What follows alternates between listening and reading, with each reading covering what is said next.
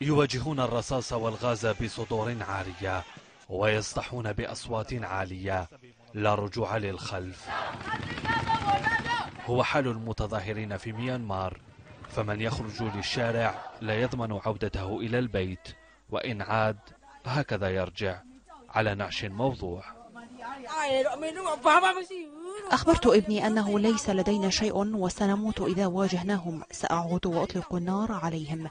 إذا كان لدي سلاح الآن لا يمكننا فعل أي شيء لأننا لا نملك سلاحا.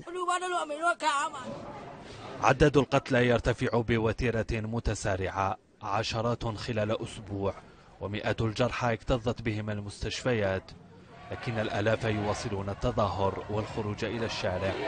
غير أبهين بالقمع الوحشي ولا برصاص العسكر.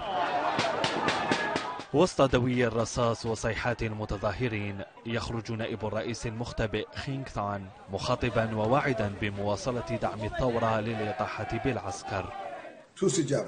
من أجل تشكيل ديمقراطية فيدرالية يرغب فيها كل الإخوة الذين عانوا أنواعا مختلفة من الاضطهاد والدكتاتورية على مدى عقود فإن هذه الثورة هي فرصة لنا لتوحيد جهودنا.